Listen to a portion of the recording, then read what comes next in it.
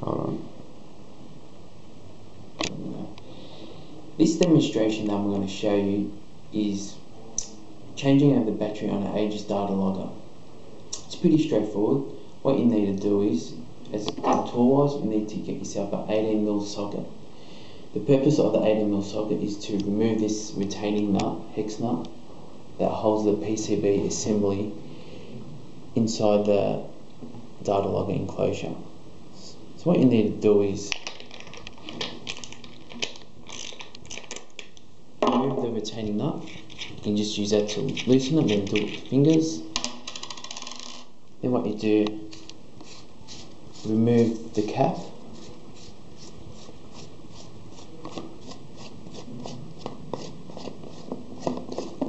Such.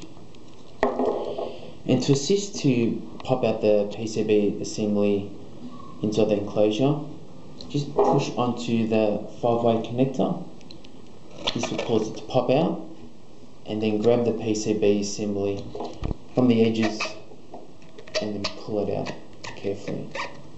Then you can hold it on, on the cushion part. What you do then, it's a bit of a tight fit, so remove the battery. And with your new battery, you'll notice when you put it back in, in the battery holder there's an indication of the positive side and the negative side. You'll see on the bottom there will be indicated. So that's your positive side and that's your negative side. So align the battery polarities with the battery holder terminals.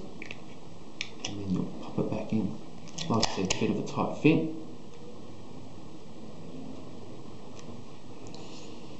and that's it is what you do. Then you'll put it back in into its enclosure. Just keep there's a, there's two ways that this can go in. You can either go in one one way or the other. But however, you'll notice inside the enclosure there's a ridge, part of the molding of the enclosure. You need to align the bottom of the PCB of the assembly with that ridge. The purpose of this is so that magnetic reed switch on the PCB assembly is aligned with the sticker where it mentions the magnet spot. So this will go in, pull it in and just wiggle it in. Sometimes you do have to align it and it'll pop through. When pushing it in, just push it in on the PCB. Just be mindful, don't push it on the SIM card because this will cause the SIM card to pop out of its holder.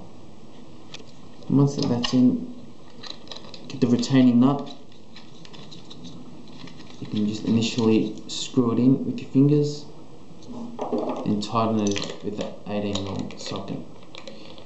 It doesn't have to be overly super tight.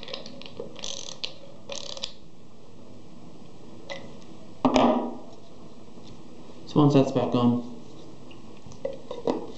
then you just screw cap back on.